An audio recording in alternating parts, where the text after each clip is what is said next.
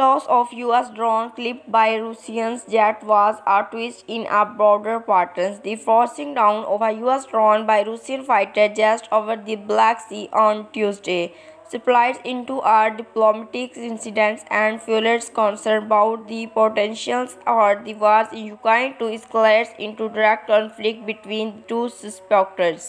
The incident also shows lights on effects of geopolitics that often receive little attention close calls some hovering between US and Russian aircraft and trials.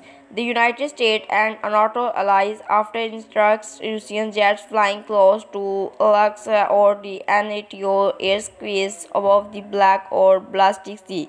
Russian also has intercepted American aircraft at those regions, sometimes swapping close north to cause turbulence.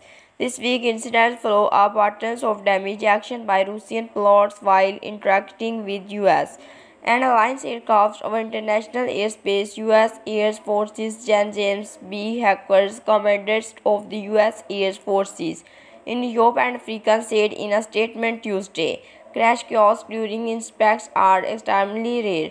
However, events of unnamed drones, analysis and philosophicals warns that the war in Ukraine has only heightened these stakes.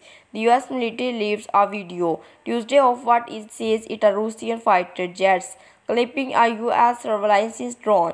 The United States says the relenting damage forces into brings the drones drones into the Black Sea. Moscow has denied that its fighter is the drone and blamed the United States for flying the craft too close to trying in the Crimeans that Russia claimed to have annexed. Here what to know about the history of close encounters between Russia and United States in the sky.